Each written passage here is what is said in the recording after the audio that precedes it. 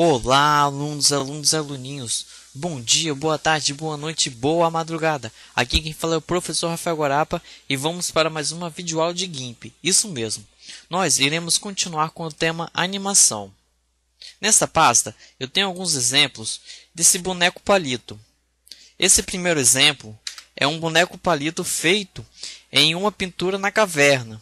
Então ele foi feito muito, muito tempo atrás. A gente vai representar esse boneco que é chamado de boneco palito bem aqui no GIMP, através pode ser com lápis ou com um pincel.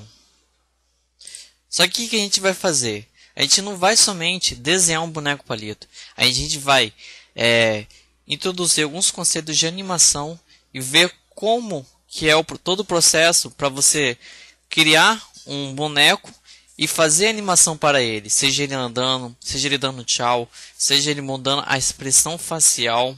Iremos começar do básico e com o tempo nos aprofundando cada vez mais. A animação não é algo simples e feito de, é, de uma hora para outra. Todo tipo de animação, quanto mais elaborado, quanto mais recursos, é, mais difícil vai ficando. E é algo trabalhoso. Aqui tem outro exemplo do Xião Xião, que é, é feito em palitos. Perceba aqui que a diferença desse desenho para o da caverna é o tamanho do pincel que preencheu o rosto dele e o corpo, o tamanho do, de pixel é maior. O Xião Xião é um jogo, é um jogo na internet que você colocando no site de busca você encontra ele. E também tem a animação que eles fazem com esse boneco palito. E eu tenho um vídeo aqui que eu estarei é, colocando para vocês estarem vendo como que é essa animação. E eu coloquei play.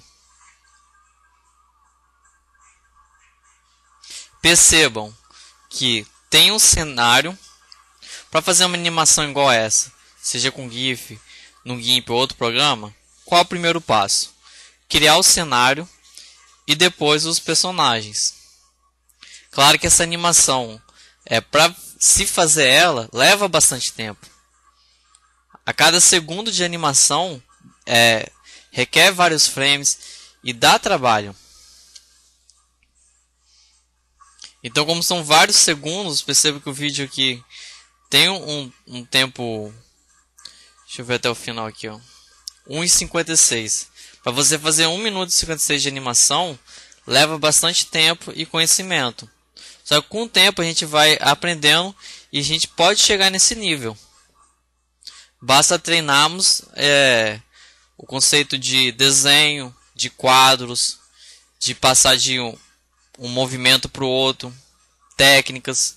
Isso a gente vai aprendendo durante o curso. Olha que legal. Perceba agora que ele deu um zoom. Então esse aqui é um, um outro frame com a imagem aproximada. E aqui já é o final da batalha.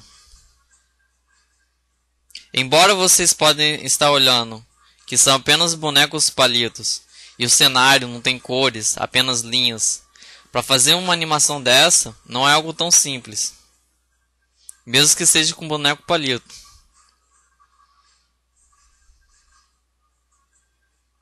Como esse efeito.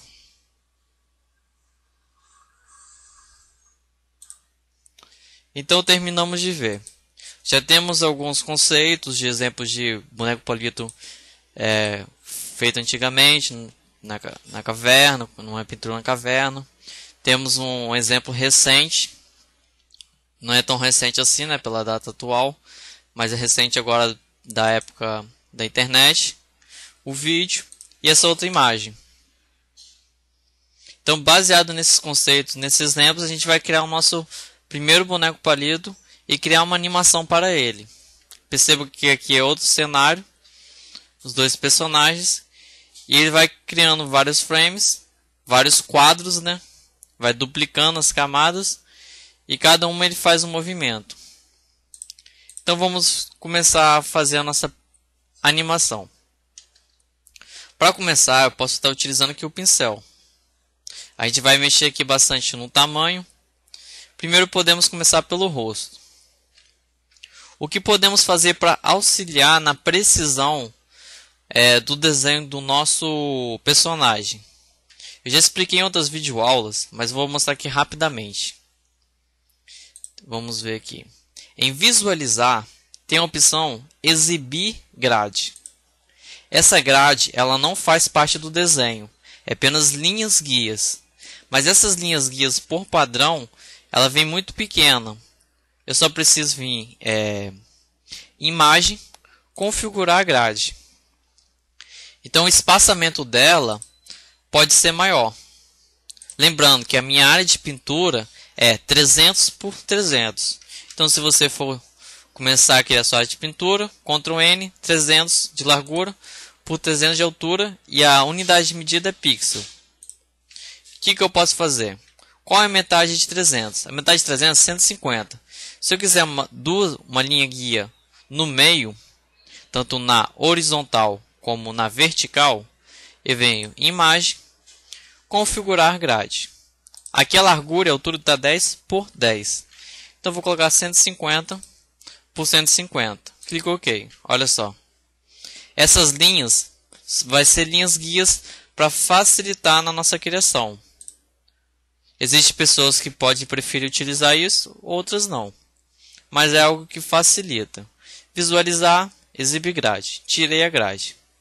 Vamos colocar de novo. Então vamos criar o nosso personagem, o nosso boneco palito.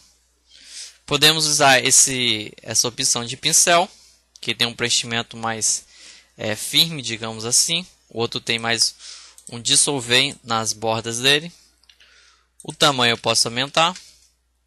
Eu vou querer 50 pixels por rosto. 60.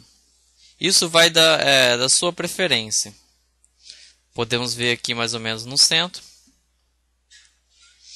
E fazer o, o rosto. Agora iremos diminuir. Podemos colocar 20 e ver como que vai ficar o corpo. Vamos ver a, o desenho que temos aqui do Xion Xion. Olha só. E vamos ver o que, que a gente está fazendo. Pode ser um pouquinho menor, pode ser por exemplo 17 para o corpo. Posso vir aqui, se eu quiser dar um zoom para facilitar. Lembrando que o Shift e o Ctrl a gente faz uma linha reta.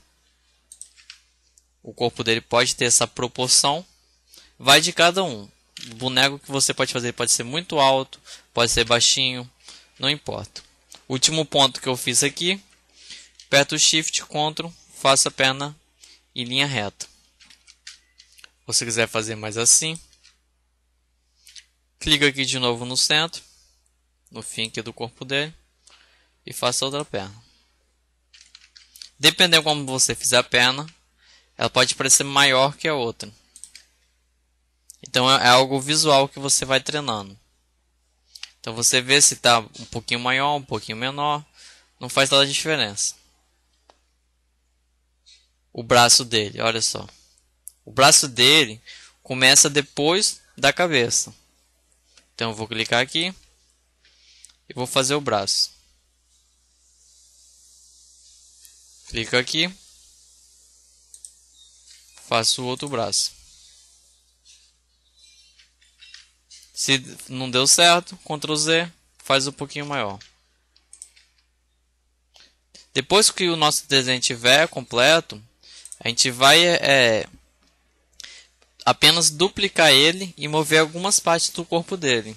Percebo que a proporção do corpo, é, a perna, né, ficou um pouquinho, ficou pequeno.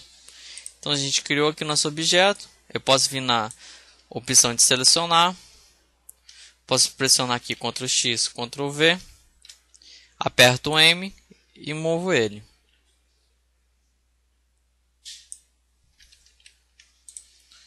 Cancelo a seleção e volto lá em pincel. Se eu quiser continuar aqui a perna dele, do fim da perna dele, aumentar mais um pouco, eu posso. Ou às vezes é melhor a gente apagar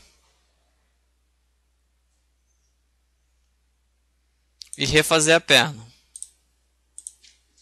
Então vamos olhar a proporção da cabeça, do braço Clico aqui. Uma perna, a outra. Vamos lá. Prontinho. Opa. Deixa eu ver se ficou legal. Pincel.